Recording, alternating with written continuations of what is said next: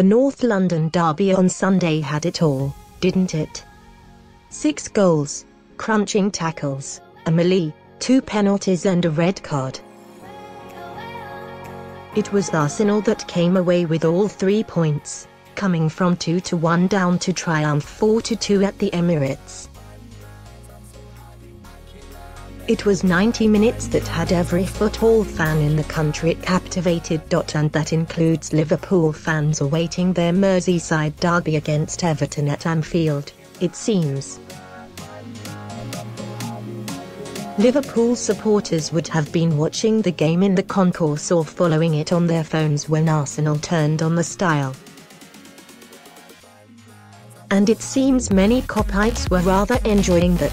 That's according to Tottenham manager Mauricio Pochettino anyway, who was informed by his chief scout that Liverpool supporters cheered when Arsenal took the lead. Steve Hitchen, Tottenham's chief scout, was at the Liverpool game against Everton and was watching our match before in the stadium Pochettino explained, for the Mirror.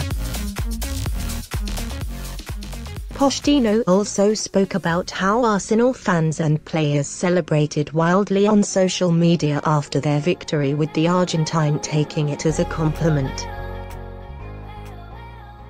What that shows, first of all, is the respect they have for us.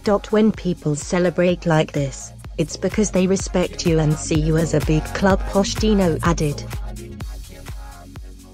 It was a massive win for them. Of course, for us, it was a massive disappointment. But it showed the respect we have got in the last few years, with our performances and results.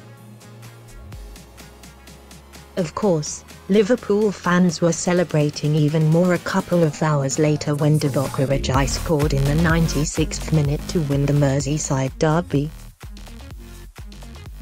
But the Reds will be looking over their shoulder at both Spurs and Arsenal with both North London clubs snapping at their heels.